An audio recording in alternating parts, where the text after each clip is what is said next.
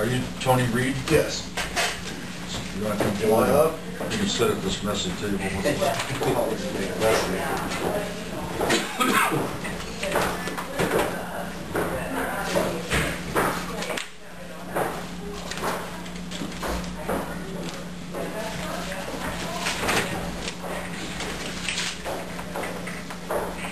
Well, hopefully this won't be as confusing as health insurance. Uh, I'm Tony Reed, I'm with Central Iowa Detention Center. I'm here today, our board has uh, basically picked a few counties that they're still looking at for uh, detention membership affiliation with our center. Um, A little bit about our agency, we've been around since '94. Uh, We currently are the biggest center in Iowa for detention. Uh, First page of the packet, you see that top chart, shows all the uh, member counties and affiliate counties with our agency. Current totals at uh, 40, so 40 counties that are affiliated. Um, Here basically to offer Sac County the opportunity to become an affiliate with our center. Uh, The nice part about the affiliate agreement is you have no financial uh, tie to the liability of the organization. There's no tie to debt, there's no tie to any, uh, any future debt or anything of that nature. Um, We provide five core services. Uh, Detention was the first service we provided.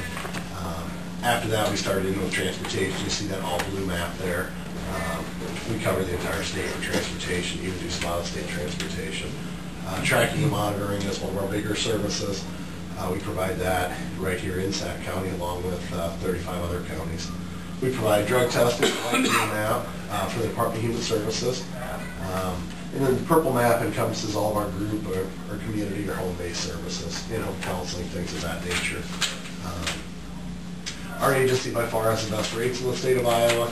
Uh, We're the newest facility in the state of Iowa in regards to building. Uh, Programmatically, I think we offer incredible service. Uh, We have some counties that choose to use our service even if they're not affiliated, just based on service alone, which I think is, there's no better compliment than that. Um, Page two, you'll just see a few snapshots, I guess, of the facility itself. Um, I- Have any of you guys been over there for open house or anything? Probably not. Um, A few shots of the facility there. Um, A Couple things of importance. Um, Every county, you know, with kids that you have to put in detention, you do, you do see some issues of liability, be it uh, crimes committed by the kid in detention or any other issue that could happen. We do have digital surveillance of the entire facility. Uh, It is recorded. With that, it's a huge liability reducer. Uh, We have recorded video of everything that happens on premises. That way, if there is an event, it can be pulled back up and shown as to uh, who the perpetrator might have been.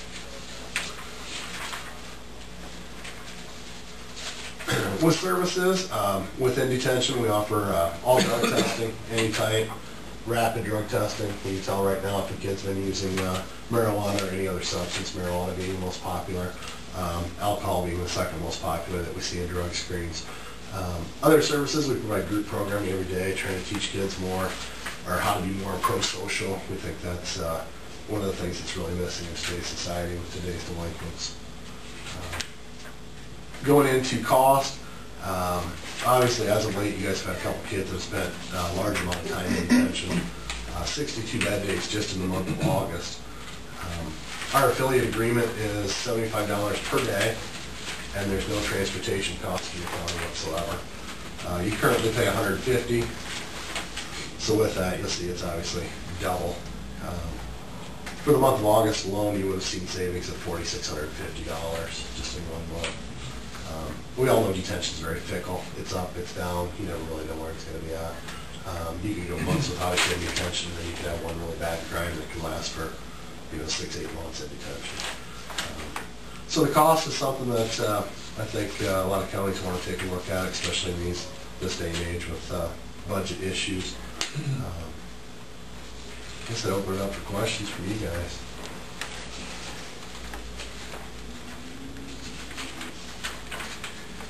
Uh, we currently have uh, an affiliation with um, the Cherokee Center, the Yes Center, and uh, not had any problems there. Uh, Jack's a board member there, and, and uh, we've, we've not had any, any issues to this point.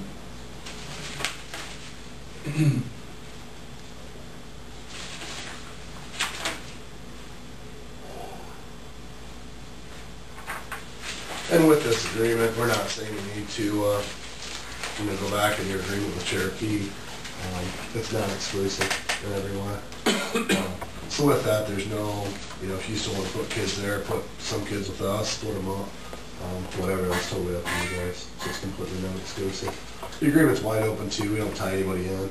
If, uh, if you sign the agreement in six months from now, you decide it's a bad idea, then you can simply, uh, pass another motion and get out. So it's real simple. Um, real simple. We don't, we don't tie any counties down just because we don't feel we need to. Uh, And we know as of late, detention's changing rapidly. I think we're all pretty aware of that. Um, in regards to the landscape of detention, the number of detention centers, the financial issues facing detention centers. Um, that's one issue why, uh, or one reason why we're looking to solidify our number, um, our place in the state. I mean, we're covering that north and south central portion of the state. Um, and with Sac County and the Second Judicial District, it, it fits nicely. We do a lot of the Sac County uh, transportation now.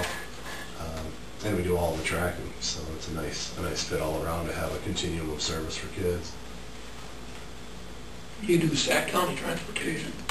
What do you mean? Uh, like court order transportation, taking juveniles to and from different places. Mhm. Who's doing your detention transportation? We don't do a lot of that. Is Cherokee doing that? Yes. Okay. And are they billing you guys for it, I assume? Yes. Okay. And see, if we did it, we wouldn't be billing you guys, we'd be billing, uh, juvenile court along with all the other counties in the second, so. That's another, uh, I mean, it's not a huge difference, but, you know, every trip's a hundred bucks probably, so there's still some savings on the backside there also. What is your, what's your liability position? I, I see that in the agreement that you're not binding anybody who, who signs up with you, who's not a, a member entity. What kind of debt you got? Uh, right now we have, oh, I believe it's about six hundred fifty thousand in debt. Um, We built a facility two and a half years ago, we opened, it's a five million dollar building. We've got about six hundred fifty thousand left in debt, so. uh, We took a thirty-year mortgage and we plan to pay it off in six we do, we do definitely have debt. Um, and that's one reason why with the affiliate agreement, you don't have to take on any portion of that debt, which I think is important. Um, I also think that counties really need to take a serious look at the, uh, the finances of centers right now. um, last year we had operational excess of $750,000 really the only regional detention center in the state. I think that turned in excess last year. Um, detention is down overall as a business. How are you able to generate that if others are having trouble? Right. If other people are uh, seventy-five dollars, is not going to cover mm -hmm. your expenses per day, plus give you that type of uh, profit. Well, I think the key there is detention's our fourth biggest business. It's our fourth biggest. Um, that's what sets us apart from all the other detention centers. Uh, we started diversifying back in oh, back in ninety-seven, um, into other businesses, transportation, traffic, in-home counseling, drug testing. Um, Detention will be our fourth, maybe even fifth biggest business in FY eleven. Um, And you're absolutely right, Jack. We could not turn profit if all we did was detention and charge seventy-five dollars a day. We all know that's not even possible. Um, But we work for the counties we're affiliated with. So the counties we're affiliated with, they're paying us for service, get a really good deal on their rate because we provide other services. Um, Detention itself will be less than, less than fifteen percent of our total revenue this year. Um, And to make it even more crazy, we could charge zero dollars a day this year for detention, we'd still break even. So we're in a, we're in a great position financially, I think. Uh, I know there's been a lot of people that have wanted to spread a lot of bad press about our agency, which is frustrating. Um, We're not gonna go out and spread dirt about other agencies, that's not our way. Um, But the facts are the facts. We, uh, we budgeted a five hundred thousand dollar excess this year, five hundred and fifty next year. Um, As we move forward with uh, the contracts we currently have and the ones that we're currently bidding on, um, I think it's safe to say that anybody that looks at the numbers would agree that we're the most financially secure center in the state by far. Um, As other centers uh, are looking at the window of time before the, the funds run out, I think that's an important thing to take a look at, especially if you're a county that's affiliated with the center that's in that situation. Um, When those funds run out, somebody's on the hook, and if you're the member county, you're on the hook. And there's no, there's no other way to, to say it, I guess.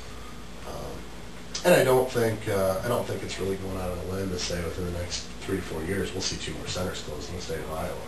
Detention dropped by forty percent statewide. We can't continue to have twelve detention centers. One closed last year, in the next three or four years, I bet we'll see one or two more closed. Um, The frustration with that is the ones that are closed in the rural areas. Because the counts are lower in the rural, and the- and the costs are just as high. With detention itself, if you run a fifteen-bed facility, you got a staff for fifteen every day. If you got five kids there, you're still, your costs are the same, so. um, We only staff for the number of people that we have in detention. mhm. But with that, if you have twelve or you have fifteen, it costs the same. That's the, uh, that's the tough part with detention. And also, you know, even at hundred and fifty dollars a day, you know, sooner or later, the lines cross where there's not enough revenue generated. Uh, I know Cherokee Detention put out a cash flow analysis that said they'd run out of money in December of this year. Um, You know, that's something that, uh, you know, we've been told, we know it, it's true. Um, Whether or not that happens, I don't know. They may have a few good extra months, um, or they may not. But Right now, there's a lot of counties, uh, taking a look at that. Even in southeast Iowa, we added, we added 20 counties last year. We Um, There for a while, after we built our building, we didn't offer membership to anybody. Then we opened it back up, last months, we've got 20 counties in. So it's not a, oh, it's not a real risky proposition, especially with the affiliate no risk involved whatsoever. Um, The risk that I think a lot of counties see, like a county like Mahaska in South Iowa, is they see the line start to cross on their other detention center.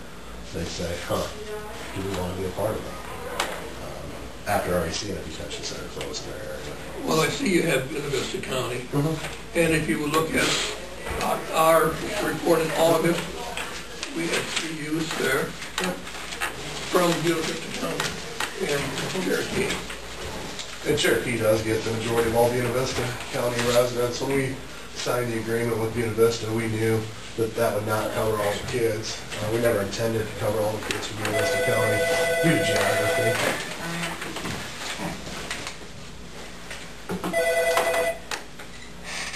Supervisor's office.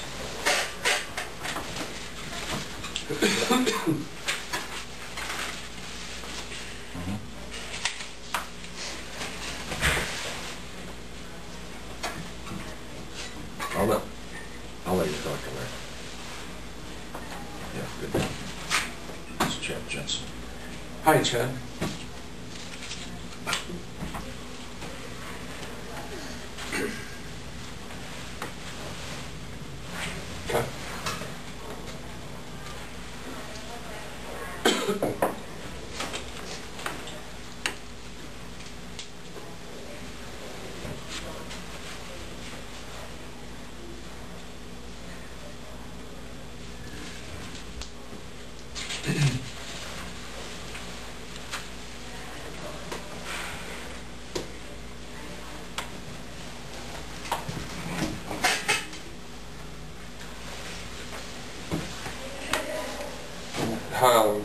Did the offer come? I looked at the